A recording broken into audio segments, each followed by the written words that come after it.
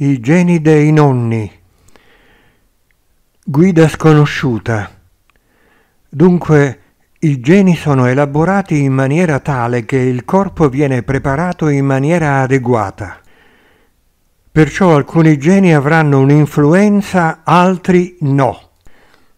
In taluni casi i geni della madre avranno una maggiore influenza, in un altro quelli del padre.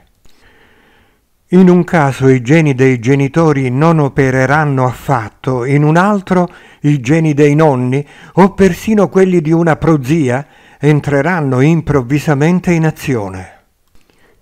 E tutto questo in modo tale che niente sia lasciato al caso.